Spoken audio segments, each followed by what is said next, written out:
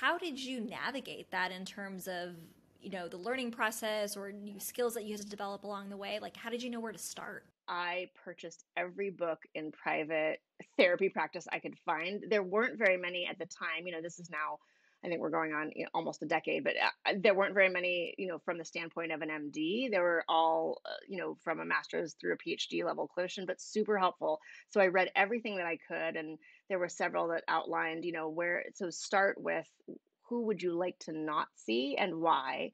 Um, and so really getting to know and understand exploring what do you love what do you not love why would you not like to see certain patient populations? Um, and realizing that most of that came down to i think we sometimes think we should be able to see everyone but realizing that a lot of it comes down to what can you do within a single person private practice um, instead of maybe a multi-systemic you know place where maybe you know some people who need more of those those groups of clinicians you know to be able to experience their ideal healthcare that needs to happen in a different setting. Um, so i got every book i could. Um, and then you know the business aspects were harder because i I didn't have a great place. I think now there are more resources for physicians wanting to learn the business side of medicine or just business.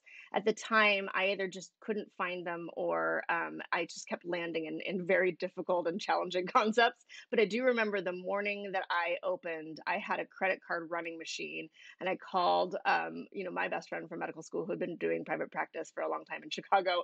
And I was panicking. I said, Mark, I don't know how to run the credit card machine. What if I can't run the credit card machine? He's like, You will take down the number. We will figure out how to key it in later. And I'm like, I'm looking at this thing and I don't know how to do it. I mean, it was it was unbelievable. And I I, I sat there thinking, okay, I've worked in prisons. I've worked with very high risk populations. I've worked at Bellevue and a, a credit card machine is going to take me down this afternoon